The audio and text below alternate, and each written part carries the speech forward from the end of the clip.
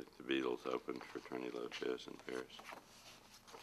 You know, this is a Beatles program from back in, I don't know when it was, but the Beatles opened for Trini Lopez. See, he signed it. He pointed out to me that he was just bigger than the Beatles one, which he was, I guess. I mean, he was. It's cool though, isn't it? Yeah,